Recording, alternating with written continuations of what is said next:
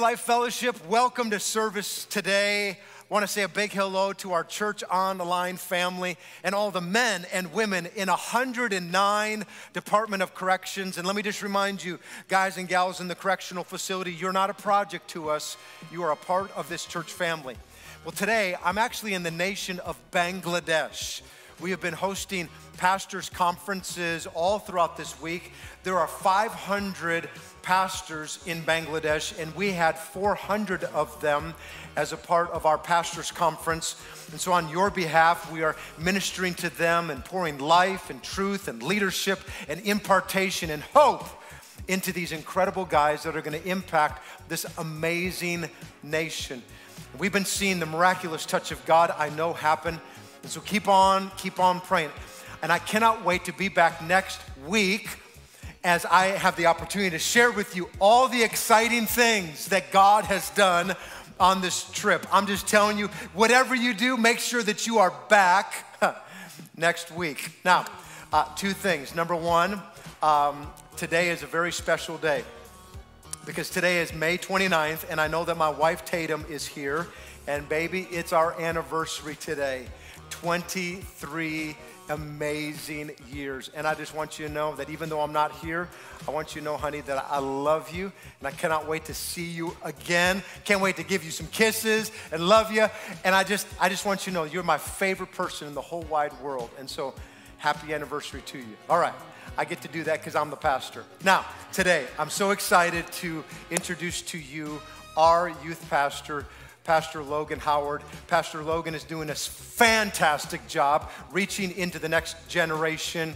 So, hey, everybody, if you would, would you put your hands together and give a great welcome to Pastor Logan?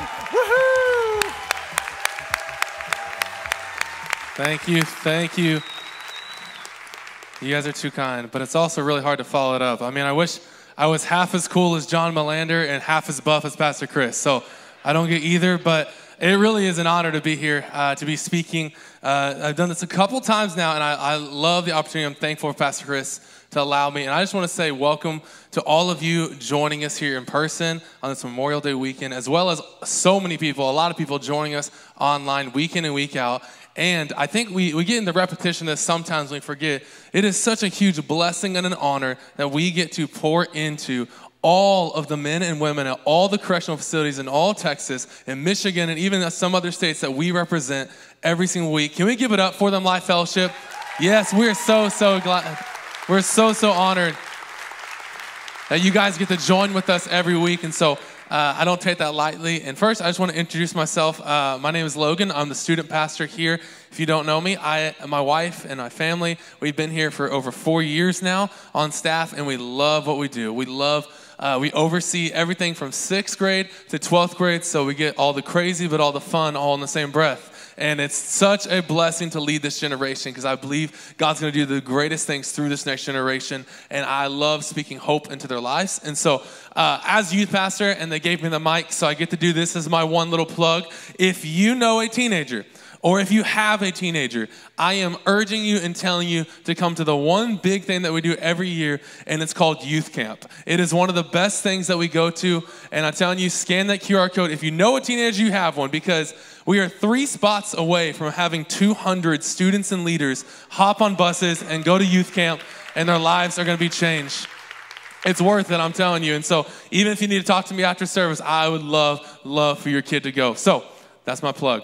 The last thing I want to say is just to honor our pastors, okay? We have some of the best pastors in the world. And not only is Pastor Chris an amazing leader, and I love that he has phenomenal leadership qualities, but what I love even more is the spiritual qualities that he has in his life. Like when Pastor Chris and Tatum say they pray for you, they are praying for you. Like they are seeking after the face of God on your behalf. Like I know that they do that. I've been around them long enough and I aspire to have the, the, the, spiritual, the prayer life that they do. And I just honor them as our leaders and our pastors. Can we give it up for them as well? We're so grateful, so grateful. Well, before we jump in today, let me pray and we'll get started. Father, I thank you for every person here, every person joining online. Lord, I pray that Every single person would walk out here encouraged and challenged in the same breath. Lord, help speak through me. God, use me, God, through your power and your strength, God. And it's in Jesus' mighty name. Everybody said, Amen. Amen. All right.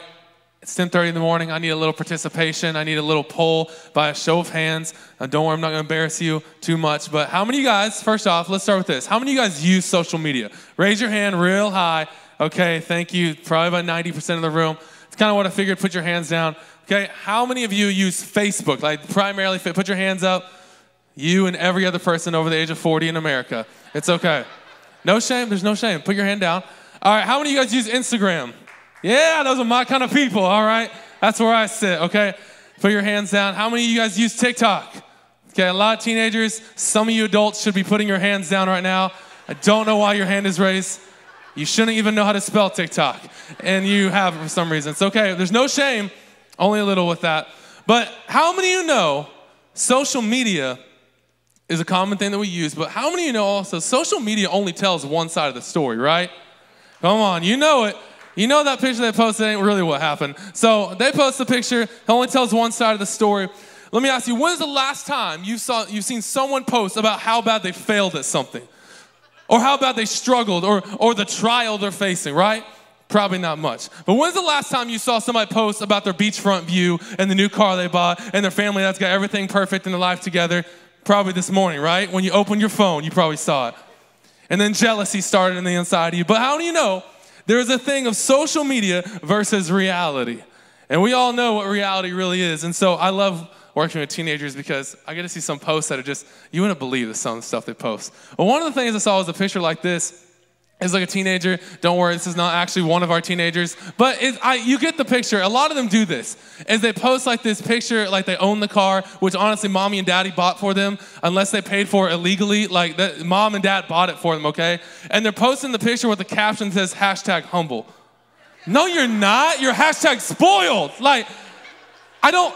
I don't get that with teenagers sometimes. Or even with families. Sometimes families post a picture like this, right? Where it's like the picture perfect family where everything's perfect. Somehow everybody's smiling at the same time. Somehow everybody's perfectly looking at the camera and they didn't wreck the car while driving and trying to take a picture. Like everything's perfect in the image.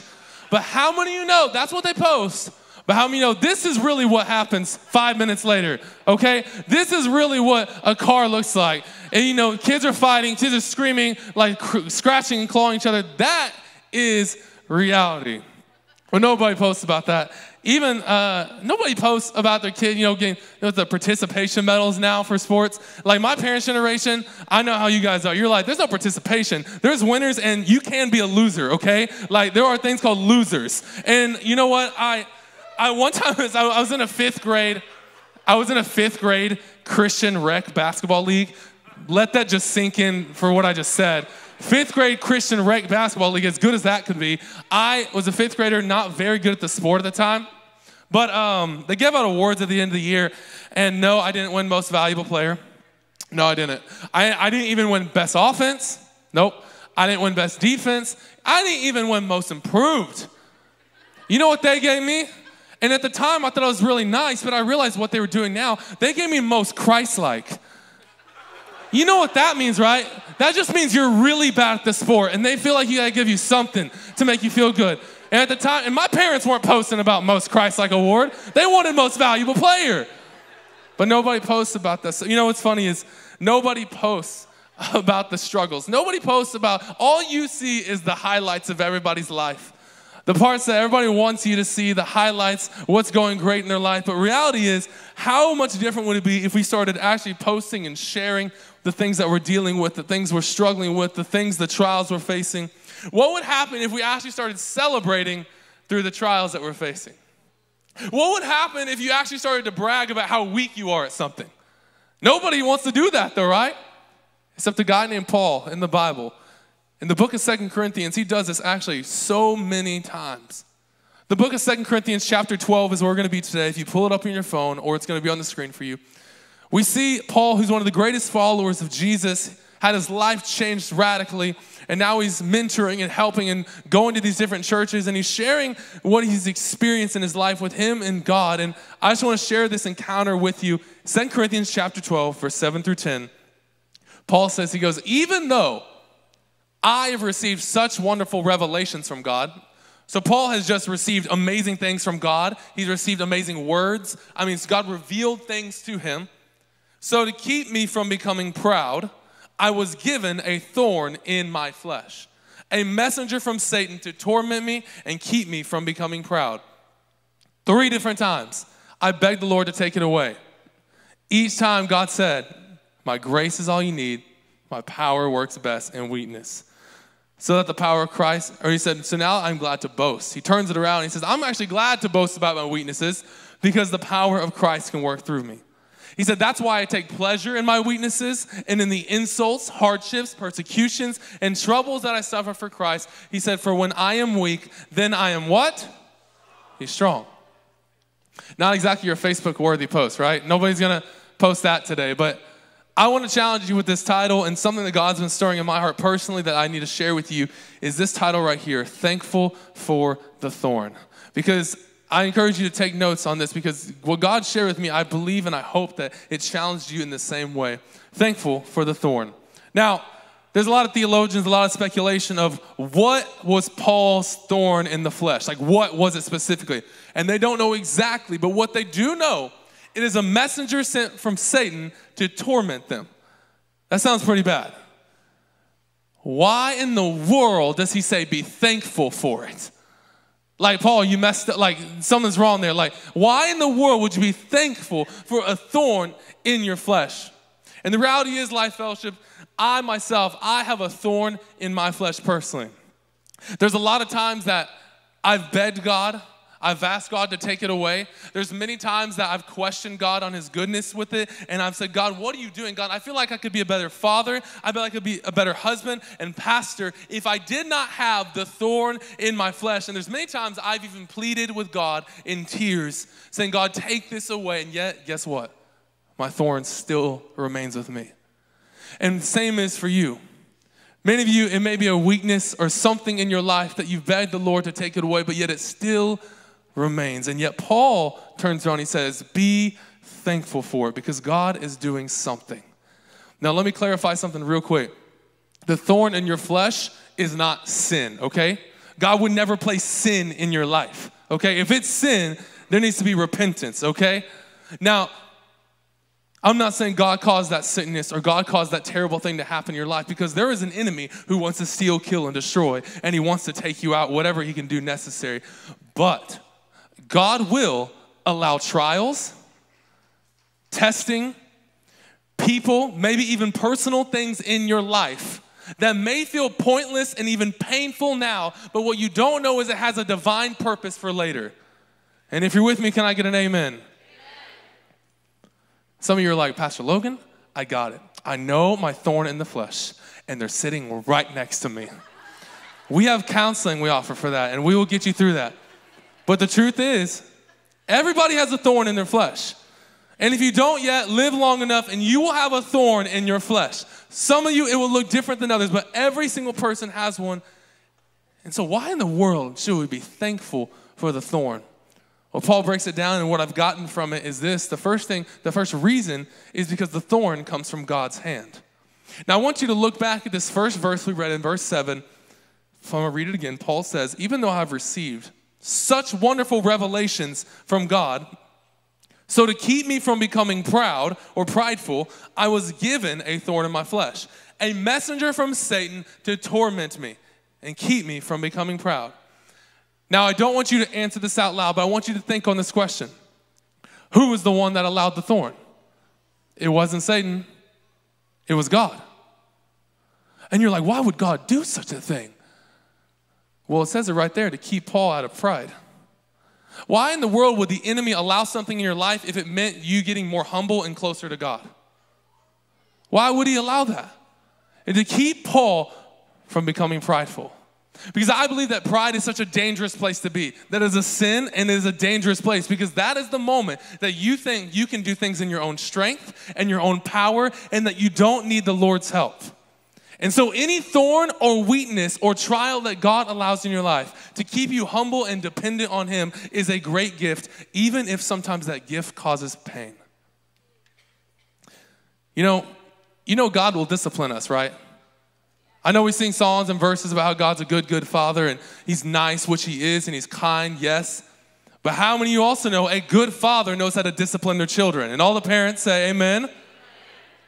And what's the root word of discipline? Disciple. So God will allow certain things in our life if it means it's going to create us a closer relationship with Him and a greater dependability on God. But give me, hear, hear me right, is that God will never torture His children. He will not. But He will allow thorns that feel uncomfortable in order to protect them from having their life destroyed by this, the pride, the sin of pride. Think about this for a second. Do you know that pain can actually protect you from other pain? Redemptive pain can protect you from destructive pain. What if the thorn that God has allowed in your life is the only thing protecting you from worse things that the enemy's trying to do to you? What if the reason you're dealing with that thing right now is to fully depend on God? Because maybe if you never had the thorn, you would never ask for God's help in the first place. Anything given from God's hand is to protect us, even if it's a thorn. And the first reason he says is because it comes from God's hand. And the second reason Paul gives us to be thankful for the thorn, be thankful for the weakness, be thankful for the trial that you're currently facing. He says this because the thorn gives you strength. Some of you are like, hold up, Logan. I, I'm trying to get this verse in my head. You just said the thorn causes pain. Yes. The thorn makes you weak. Yes. So, why in the world would I be thankful for that? Because if you never had the thorn, then you would never have the need to experience God's grace in your life. And that's why Paul says in verse 9, he says, or God says to Paul, he says, My grace is actually all you need. He says, My power works best in weakness. And everybody has a thorn in their flesh. And guess what? Yours is different than mine, but it's for the same reason. Thorns that are given in our lives in order to weaken us, in order to actually make us stronger. That's why Paul says, he says, For when I am weak, then I'm actually strong. So if you've never felt weak before, maybe it's because you've never depended on God before. Because the weakness in your life will cause you to depend on the Lord's strength. Because if you're in pride and you feel like you can do things on your own, here's a reality check is that our strength is absolutely nothing compared to the Lord's. And God could do more through your own weakness than you ever could in your own strength and own power. So be thankful for the thorn. I, be thankful that you're weak. I need a little help here. Everybody, everybody say, I'm weak. Some of you, your pride just fell having to say that. Okay, everybody say it again. Everybody say, I'm. I'm weak. Post that on social media today. See how many likes you get. Because when you admit that, then his strength can actually work the most through you. And I truly believe that God's power works best through who you really are, not who you pretend to be. And when you're honest and you share your weaknesses with God and you're honest to know that I don't have enough power or strength to get through this, I need the Lord, watch what He does in your life. Be thankful for the thorn. He says, Be thankful for the thorn because it comes from God's hand. And Paul says, You know, because it gives you strength. And the last thing he says is this Be thankful for the thorn because the thorn has a purpose. The thorn has a purpose. And if you haven't heard anything so far because you're thinking about what to cook out tomorrow for Memorial Day, please hear this very clearly. Hear what Paul says again. I'm going to read those same four verses I read at the beginning because I believe if you put your life, put your thorn, put the thing that you're going through, put the thing in your life that may be a weakness or something you've asked God, take this away, but yet it still remains. Let's read it again. Paul says, Even though I've received such wonderful revelations from God, so to keep me from becoming proud, I was given a thorn in my flesh, a messenger from Satan to torment me and keep me from becoming proud. Three different times. Everybody say three. Three different times I begged the Lord to take it away. And each time he said, My grace is all you need. He said, My power works best in weakness. So now, he said, I'm actually glad to boast about my weaknesses so that the power of Christ can work through me. That's why I take pleasure in my weaknesses and in the insults, hardships, persecutions, and troubles that I suffer for Christ. For when I am weak, then I am what? Everybody has that one thing in their life. Like I said, the thorn in your flesh looks a lot different than mine. But how many of you guys have ever gone through a trial or gone through something in your life that you view as a weakness and you're like, God, I begging, I've begged you to help me get through it. I begged you to take it away, and it still remains. How many of you guys have done that? Begged God, probably more than three times, right? I know I have. Because I share with you that I have a thorn in my flesh. I do. And it still remains to this day. And that thorn in my flesh was at five years old for me. At five years old, I was diagnosed with Tourette's. And you know, at the time, I didn't really think much of it, and it didn't really bother me, it didn't really affect me much. And honestly, it really started to get to me when I was in my middle school and high school years because I dealt with a lot of bullying through Tourette's and I uh, dealt with a lot of shame and insecurity and fear and just felt like God was like out to get me. I was really upset with God for so much of my life. Even in my freshman speech class, I remember having to give like a one minute just introductory speech. And I could not do it because I was so terrified. I had to go to the bathroom to throw up. Like I could not do it because I was so shame, ashamed. I was so fearful. I was so mad at God. Why would you give this to me, God? Even in my life, whenever I knew I was going to be a pastor and I knew I was going to preach the gospel to teenagers, when that like got revealed to me and I understood that, I kind of laughed at God. I was like, God, I, I don't think you know how Tourette's works. Like, I don't think you understand like what you're asking me to do and what how you've created me, God. I don't think you understand right now. And I, I, I'm mad. I was like a modern day Moses. If you ever read about Moses in Exodus, when God told Moses, go and do this for me, Moses' excuse and response was, God, I have a stuttering problem. I give God the same excuse so much. It's like, God, how do you expect me to share the gospel when I have this in my life? God, how are you really gonna use, like, are you, are you just out to get me, God? Do you really even care?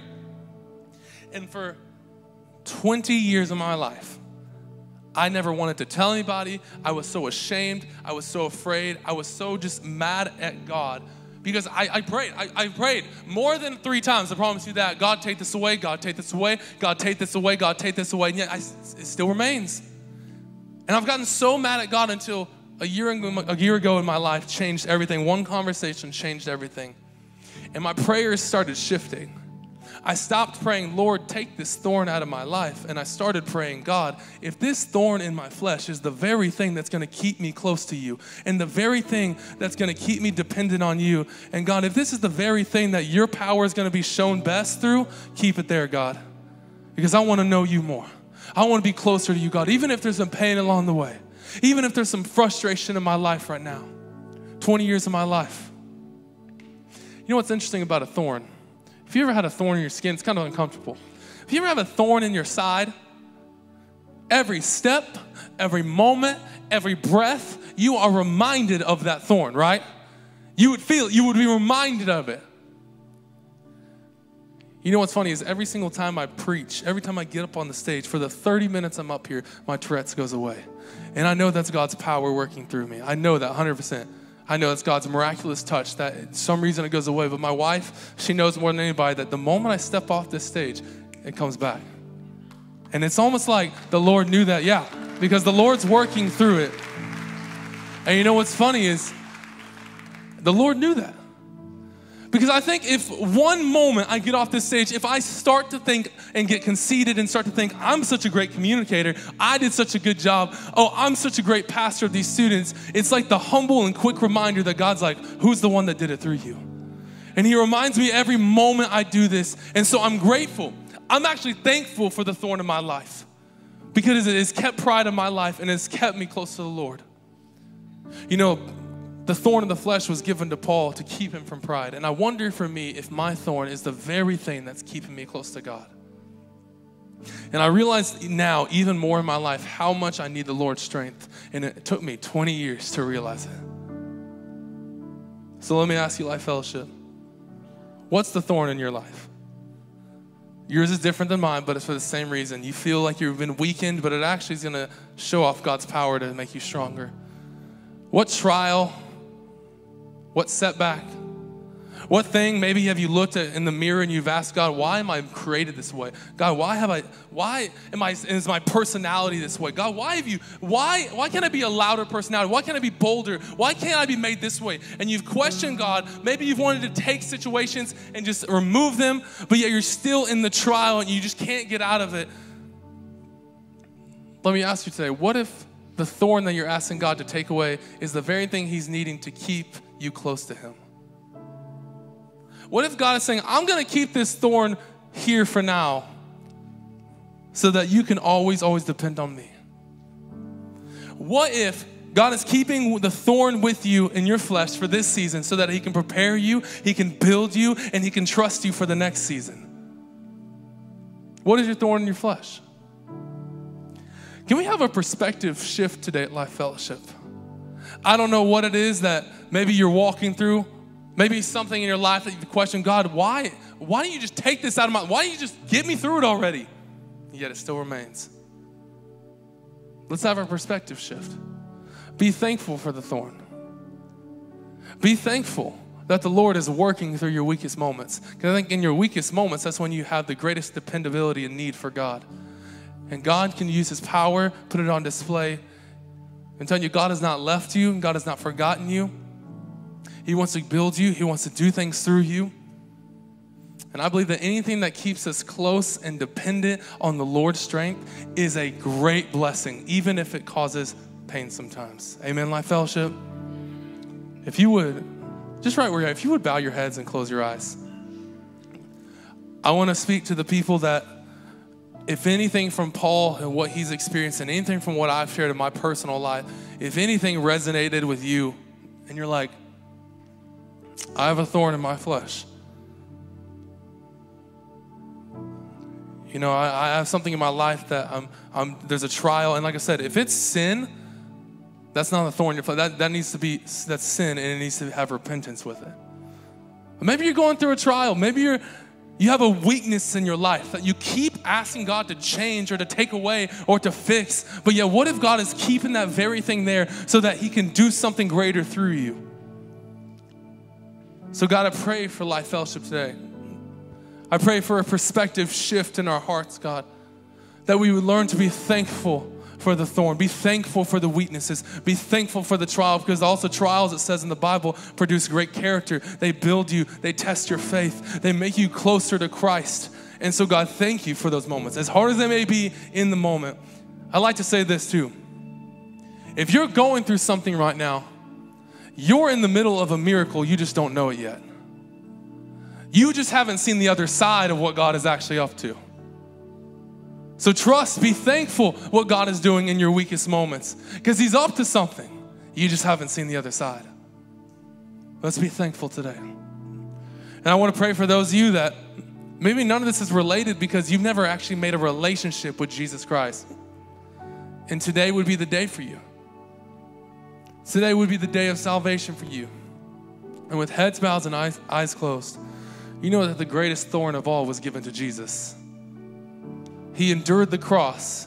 And even Jesus himself asked God, God, is there another way I can do this?